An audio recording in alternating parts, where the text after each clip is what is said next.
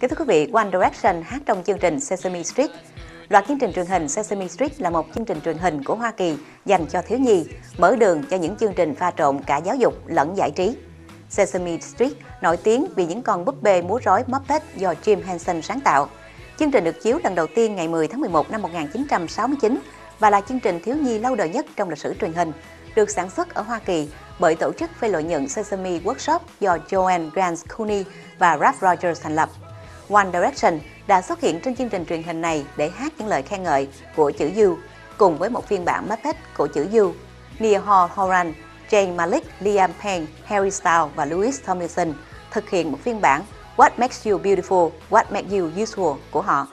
Cả nhóm One Direction đã bận rộn quảng bá cho album mới nhất của họ chủ đề Four đã được phát hành vào thứ hai vừa qua.